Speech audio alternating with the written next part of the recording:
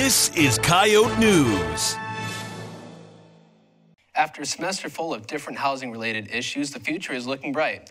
Coyote News' own Sean Kuhnel got a chance to learn exactly what is going to make the next fall semester move a little more smoothly. With one of the biggest freshman classes on record, USD has had issues finding housing for its students. With future classes projected to be bigger each year, University Housing has integrated a new method for the upcoming fall semester with the help of Assistant Housing Director Cody Burgraff. We've kind of looked at a plan to shift some of our upper class spaces um, and make them some doubles instead of just singles. Uh, so for Brookman next year, there will be a lot more doubles offered over there than singles.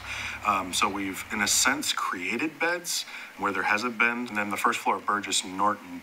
Uh, both first floors of those two buildings are going to become first year only floors. If returning students want to live in a single room, they have to get an early start on their housing contracts for the fall of 2019, as those rooms are limited. Step one is all the instructions. Step two is verifying your information, making sure, because we pull it in from the university information system, so you're not constantly having to enter it.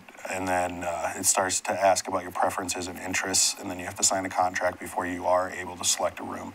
Because one thing our contract does say is it guarantees a space on campus, but it doesn't guarantee where that space is at on campus. The housing applications and room selection will be open until March. Any students who submit their applications after this deadline will be put into a random room selection. With Coyote News, I'm Sean Kuhnel. The housing contract is legally binding and shouldn't be signed unless a student is positive they will be living on campus.